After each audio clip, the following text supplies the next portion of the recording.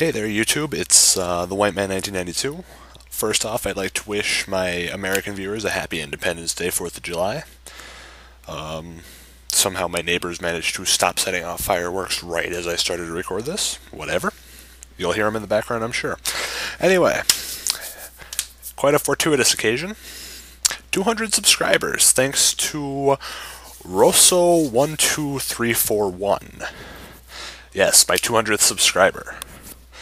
Now, in celebration of 200 subscribers, here's the deal, alright? Check it. I want you to leave me a comment. I want you to give me three words, three different words, and I will tell a story about myself that involves each word. So, everybody gets three stories based on their words. I will allow repeated words because everybody's got multiple stories for different things. So, whatever. I encourage you to be very diverse in picking these words. I encourage you to decide. Hell, use really weird words. If I have to look it up, bonus points to you, and I'll make sure I give you bonus points. Um,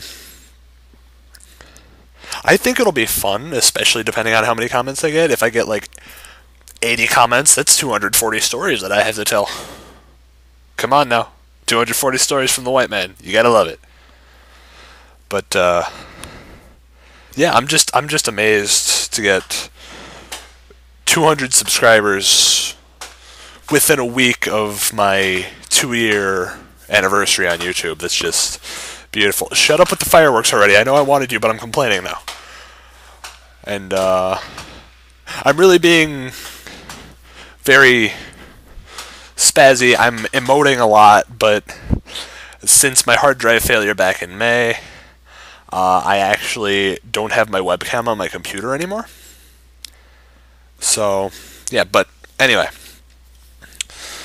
Let's tell stories with the White Man 1992 coming to you, let's say July 20th. You've got 16 days to leave me a comment with three different words, and I will tell you three different stories. Well, with that, I'll leave you. This is Zack. Zach3, Lavox the White Man, whatever you want to call me. This guy, signing off. I love you, subscribers. I love you, viewers. You guys are all wonderful people. Thank you.